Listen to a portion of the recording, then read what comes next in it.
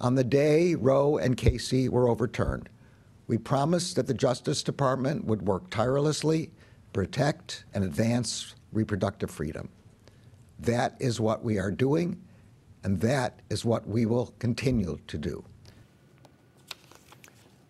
They started a task force, and in their first public action to show they are doing that, the DOJ filed a lawsuit against the state of Idaho saying the state's abortion trigger law, which was passed in 2020 and set to go in effect in 23 days, it violates federal law. That law is called the Emergency Medical Treatment and Labor Act, or EMTALA.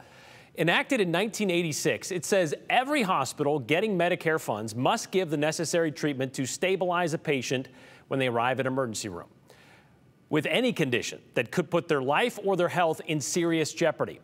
And that treatment could involve abortion.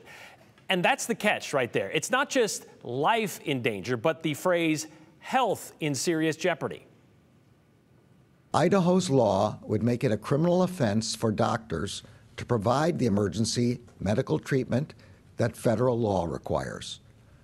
Although the Idaho law provides an exception to prevent the death of a pregnant woman, it includes no exception for cases in which the abortion is necessary to prevent serious jeopardy to the woman's health. So, according to Attorney General Garland, if a woman shows up to a hospital suffering from a miscarriage that could lead to a septic infection, or she's bleeding uncontrollably because of it, or she's suffering severe preeclampsia where her blood pressure jumps to dangerous levels, threatening her life and the life of the child, which usually doesn't happen until around 20 weeks of pregnancy, well, the doctors may be forced to deny that woman medical treatment because of Idaho's abortion ban. The federal law says her life doesn't have to be in danger, though. Her health just has to be. And because of the supremacy clause, that's the part of the Constitution that says federal law supersedes state law, well, Idaho's law would violate that. The law thus places medical professionals in an impossible situation. They must either withhold stabilizing treatment required by EMTALA or risk felony prosecution and license revocation. In so doing, the law will chill providers' willingness to perform abortions in emergency situations and will hurt patients by blocking access to medically necessary health care. So the Justice Department wants the Ninth Circuit Court to declare Idaho's law violating the Supremacy Clause, making it unconstitutional, and they want an injunction to stop Idaho from enforcing it against healthcare providers who give that emergency treatment. Garland was asked two questions about this lawsuit today. The first, why is Idaho the first to face such a litigation? Well, his answer was pretty simple. He said Idaho's law seems to be, on its face, to be in direct conflict with EMTALA, and, well, because it hasn't yet gone into effect. But it's about to.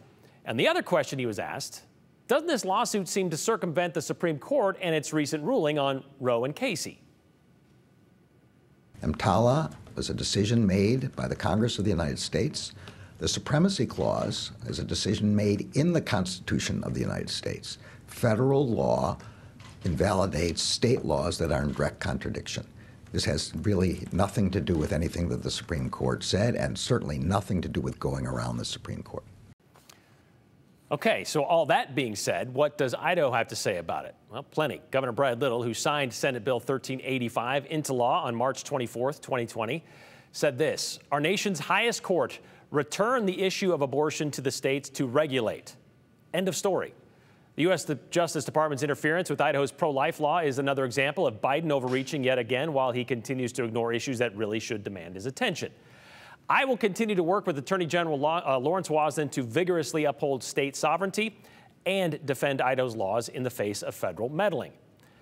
Well, speaking of Lawrence Wasden, our outgoing Attorney General, contrary to the carefully edited assertion in paragraph 25 of the department's complaint that Idaho's laws are preempted, EMTALA actually states, Wasden says, the provisions of this section do not preempt any state or local law requirement, except to the extent that the requirements directly conflicts with the requirement of this section. So they're saying basically there shouldn't be any sort of confliction there. Wasden went on to call out the DOJ for not sitting down with the state of Idaho to work something out before filing this lawsuit, to discuss the interplay between our abortion laws and EMTALA, he said, calling the lawsuit politically motivated. Instead of attempting to engage Idaho in a meaningful dialogue on this issue, the federal government has chosen to waste taxpayer money on an unnecessary lawsuit, he said. However, on page 11 of the 17 page lawsuit, it'd be paragraph 41, the DOJ claims to have sent a letter to the state of Idaho on July 29th, that'd be last Friday, expressing the view that Idaho's law was contrary to federal law and, quote, the United States did not receive a substantive response. So I, I have that letter right here, which arrived at the AG's office, well, it'd be last Friday in the Capitol building, Friday afternoon, mid afternoon sometime. And it says at the very end Should you wish to identify facts or issues relevant to whether the United States should file an action, please do so no later than August 1st, 2022. They gave Idaho three days, 72 hours to respond, basically, to something the U.S. attorney had six weeks to put together. Not enough time, in Idaho's AG opinion. However, about a month ago, we did get a glimpse of where the Biden administration might go with this when President Biden signed an executive order safeguarding access to reproductive care services, which mentioned protections granted under EMTALA.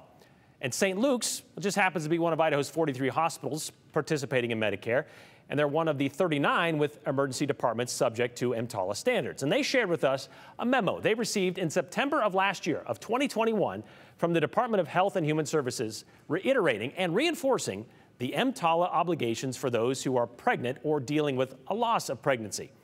Quote, the determination of an emergency medical condition is the responsibility of the examining physician or other qualified medical personnel.